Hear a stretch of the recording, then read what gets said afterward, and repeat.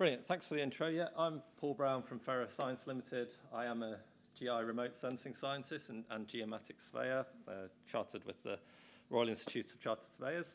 Um, and I've been PI of the Sentinel Treescapes project uh, during the last two, three years.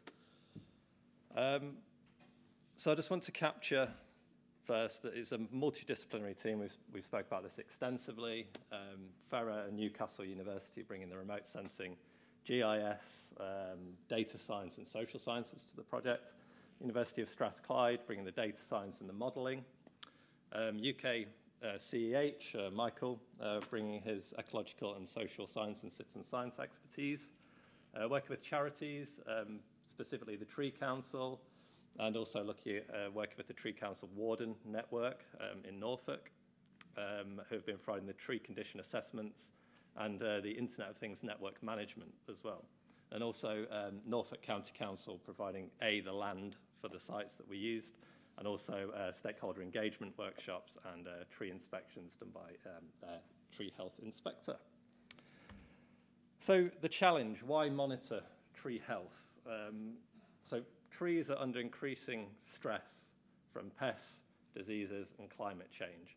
This project was looking at multiple threats. We weren't concerned with one particular issue. We're looking at trying to make an early warning system for the spread of current threats or the incursion of a new, a new threat to our treescape.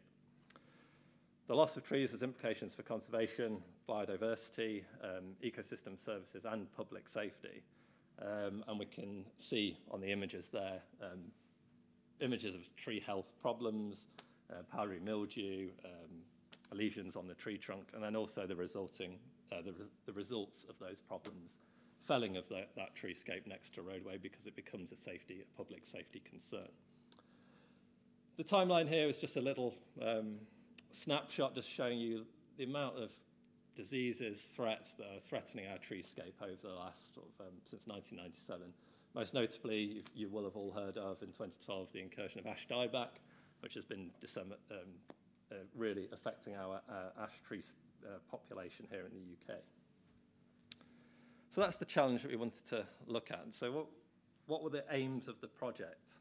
We were looking to develop and demonstrate a monitoring system to detect stress from multiple causes, um, able to be deployed at a landscape regional scale. We want to scale this demonstrator up moving forward. Combine citizen science in the tree warden network um, with technology and modelling methods. And we were looking to design and demonstrate blueprints for future deployment throughout the UK. So this little schematic, this little diagram is a real nice catch-all of, the, of a Sentinel treescape. Um, you start with the monitoring system. It's been deployed since May 2021 uh, in Norfolk, just east of Norwich in the UK. Uh, we've got uh, woodland on, uh, we've got woodland sites, roadside sites, and farmland sites.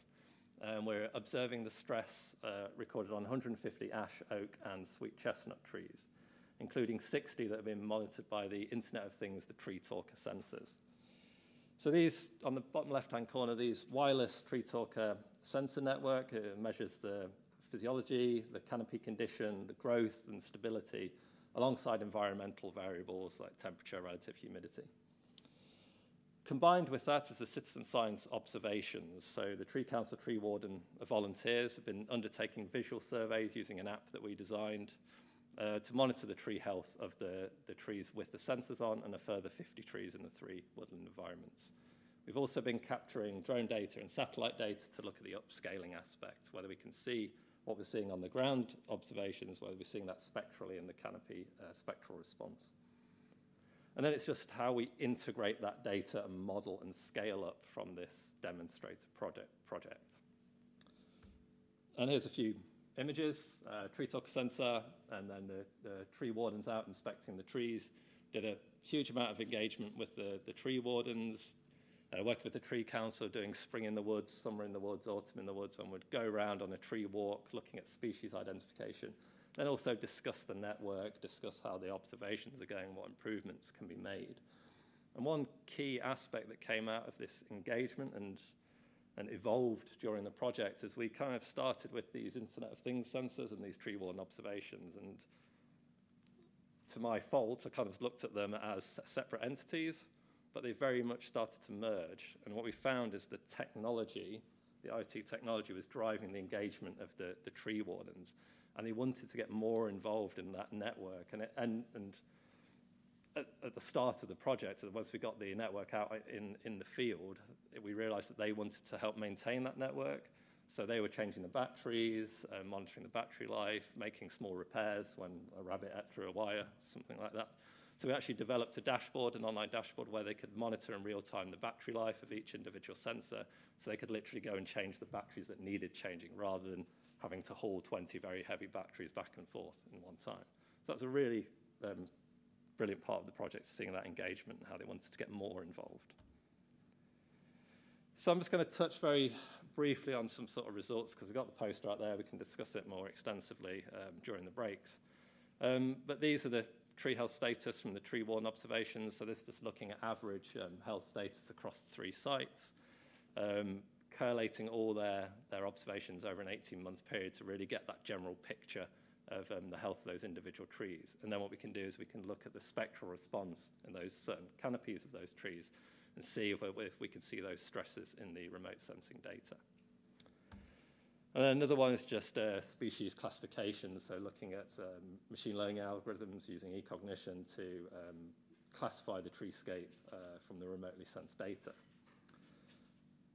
I'll finish there on the slides. I think the main challenges um, with this project is the sensors were very much uh, at a research stage in the sensor when we started the project, and the company that developed this sensors has actually sort of exploded, and they've got they've got too much demand for the supply. So having the support from them was was a little bit lacking, and the hub failures. The 20 sensors go to a hub, um, and then that hub comes back to the database at Fera in real time.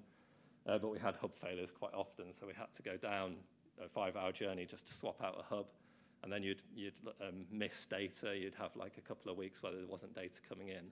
Luckily, the tree talker sensors actually hold the data internally themselves, so, but it means walking around each individual one, taking them apart, serial input, download the data. So that was a little bit of a challenge. Um, a positive, um, we're really looking to scale this up and see how we can understand how we can distribute these sentinel uh, treescapes uh, in a region and then extrapolate between with modeling. So we've actually um, got a PhD starting at the end of this month um, who's been awarded funding through Fera and Newcastle University's Joint Institutes IAFRI to continue the project for another three years. So that's great. Thank you very much.